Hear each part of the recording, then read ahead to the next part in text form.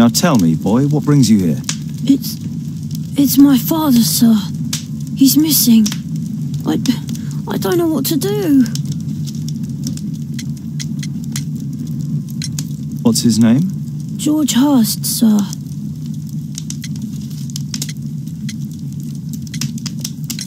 Missing, eh? And what do the police say?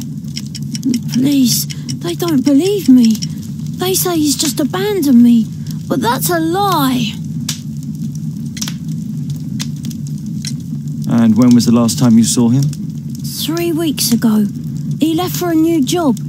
But this time, he was acting a bit strange and angry. Strange. In what way? He said to me, Son, I'm out on a special job. Don't you dare move from here. I think something went wrong.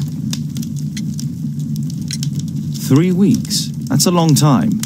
Well, every day I thought he would show up. And anyway, I, I can look after myself. Very well. Your address, please, Tom. 12 Dorset Street, the first floor, door E. It's in Whitechapel, sir. But I ain't got no money to pay. Who asked for money, Tom? Your case seems to be the very medicine I need. I'll meet you there shortly. Oh, thank you, sir.